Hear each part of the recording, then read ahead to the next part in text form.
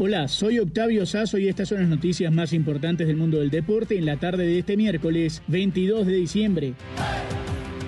Terminó el fútbol en Colombia con un partido muy emocionante en Ibagué. Camila Castiblanco nos tiene todos los detalles y nos cuenta quién es el nuevo campeón de este país. Hola Octavio, el Deportivo Cali dirigido por el venezolano Rafael Dudamel se consagró este miércoles campeón de la Liga Colombiana al vencer a domicilio por 1-2 al Deportes Tolima en el estadio Manuel Murillo Toro. En la final ida, ambos equipos igualaron 1-1. Los azucareros remontaron en el segundo tiempo un partido que empezaron perdiendo a los 14 minutos con el gol del defensor Julián Quiñones. En la etapa complementaria, el extremo John Vázquez igualó el encuentro y de penalti el goleador Harold Preciado estableció el 1-2 definitivo. El Cali conquistó así su décimo título de la liga. Los jugadores celebraron con Rafael Dudamel, quien ganó su primer título como técnico con el equipo del que es aficionado y con el que fue subcampeón de la Copa Libertadores como portero en 1999. Y mientras esperábamos el título del Deportivo Cali, hubo jornada en Europa, con triunfos que definieron los semifinalistas de la Carabao Cup en Inglaterra. Liverpool, Chelsea, Tottenham y Arsenal jugarán por el título. Pero Sergio Bahamón nos dice qué pasó en España y en Italia, donde también hubo jornada.